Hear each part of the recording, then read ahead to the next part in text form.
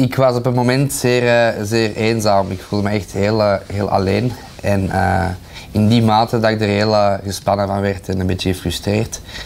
En ik dacht van ja, ik moet iets, iets ondernemen. Er moet ergens toch wel een mogelijkheid zijn om hieruit te geraken. En dan ben ik gaan zoeken op internet en dan via het CAW, Centrum Algemeen Welzijn, terechtgekomen bij Marijke van ATK.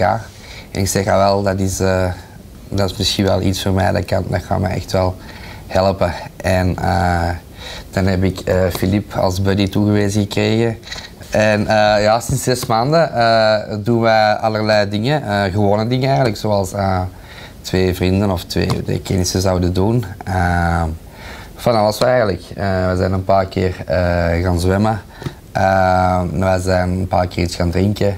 En het heeft gemaakt eh, dat ik mij... eh, het heeft vooral heel veel rust gebracht. Die idee van als er iets is, eh, als je wilt praten met iemand, dan kan ik naar Filip bellen of kunnen we afspreken en dan doen wij samen iets. Dat was heel belangrijk, ah, is nog altijd heel belangrijk voor mij op deze moment.